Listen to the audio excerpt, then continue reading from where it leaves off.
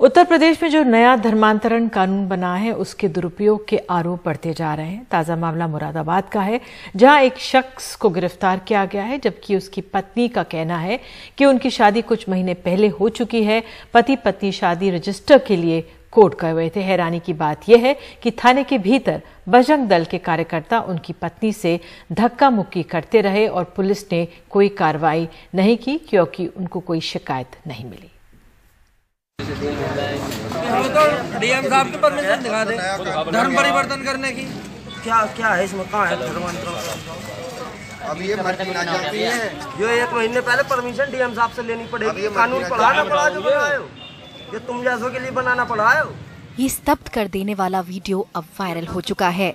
मुरादाबाद के एक police station में बजरंग दल के कार्यकर्ता एक युवा महिला से धक्का मुक्की कर रहे हैं। इसलिए कि उसने अपनी शादी को रजिस्टर्ड कराने की कोशिश की। वजह उसके पति मुस्लिम है और वो एक हिंदू है, जिसने इस्लाम कबूल कर लिया है। कुछ ही घंटे बाद पुलिस ने यूपी के नए धर्मांतरण विरोधी कानून के तहत उसके शौहर और उनके भाई को गिरफ़्तार कर लिया। इस कानून के तहत धर्मांतरण के लिए दो महीने पहले ही इजाज़त लेनी होगी। ये सब इस बात के बावजूद हुआ कि महिला बता रही है कि कई महीने पहले उसने अपनी मर्ज़ी से इस्लाम कबूल किया है और शादी की है। चौबीस जुलाई में शादी करी थी। अच्छा अच्छा ठीक है। चौबीस जुलाई है? ठीक है। कितना टाइम हो गया इसको? इसको पाँच महीना चल रहा है शादी को। पाँच महीने चल रहा है। अच्छा तो आज कहाँ कहाँ आए थे आप? आज कांट में कहाँ आए थे? घर पे। नहीं। आज नहीं तीन चार महीने से रहने में थे यहाँ पे। यहीं पे रहनी कांट में? ही जी। तीन चार महीने से? कौन सा मोहल्ला था? और नाम क्या आपके जो जिसके साथ आपने कराई कोर्ट मैरिज किया? राशिद। राशिद नाम। अपनी मर्ज़ी से करी है बालिग में बाईस साल की हूँ।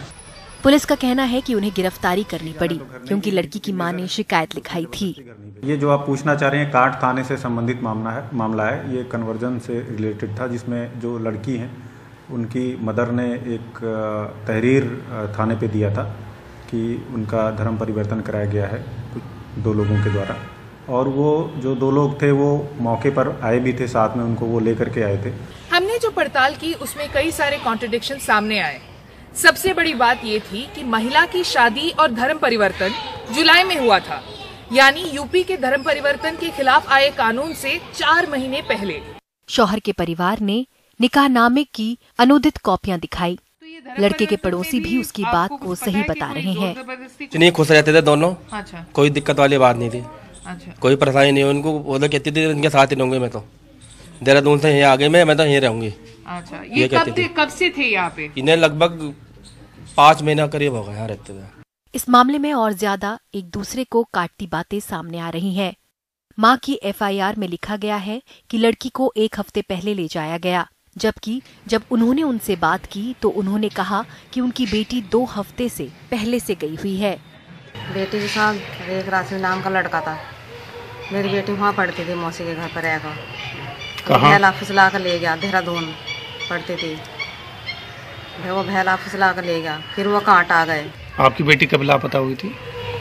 वो सब हो गए पंद्रह बीस दिन। परिवार का दावा है कि उन्होंने दंपति को खोज निकाला जबकि बजरंग दल का बयान कुछ और है। बजरंग दल के लोग कहते हैं कि उन्होंने इन दोनों को तब पकड़ा जब वो अपनी शादी की रजिस्ट्रेशन कराने गए थे। मैम पाँच तारीख को हमें सूचना मिली थी कि एक मुस्लिम लड़का है और एक हिंदू लड़की है। वो अपना धर्म परिवर्तन करके जो है शादी करना चाह रहे हैं। तो हम लोग वहाँ पर गए हमने देखा ये चीज़ सच है तो हमने पुलिस को बुलवाया सूचना दी पुलिस को। दरअसल परिवार भी मानता है कि बजरंग दल के लोगों ने ही उन्हें सतर्क किया। अच्छा में बजरंग दल वालों से पता चला। वे हमें गाड़ी से रात को लेने आए। हम गाड़ी पे गए वहाँ उनके साथ। लेकिन बजरंग दल वाले इस सवाल से बचते नज़र आए कि उन्होंने कैसे इन दोनों को खोज निकाला। देखिए मैंने आपसे पहले ही बताया ये चीज़ें हमारा एक अपना खुफिया तंत्र है। जो इस चीज़ पर कुछ कार्य करता कार्य करते हैं, लेकिन वो सामने नहीं आएँगे कभी भी।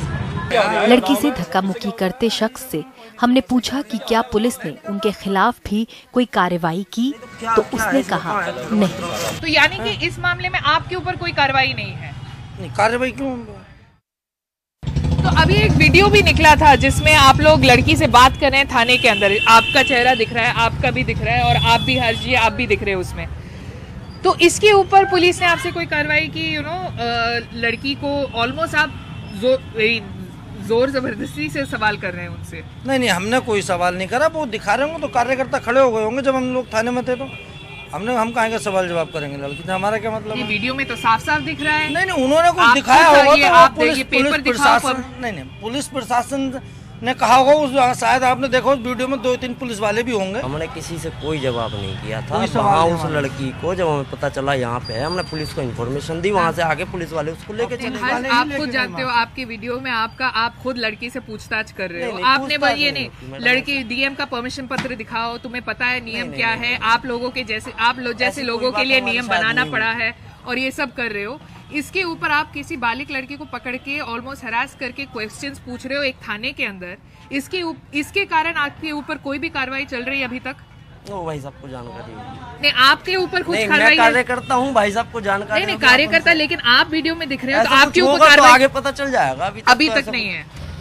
पुलिस कहती है कि बजरंग दल के खिलाफ कोई शिकायत नहीं मिली इसलिए कोई कार्रवाई नहीं हुई।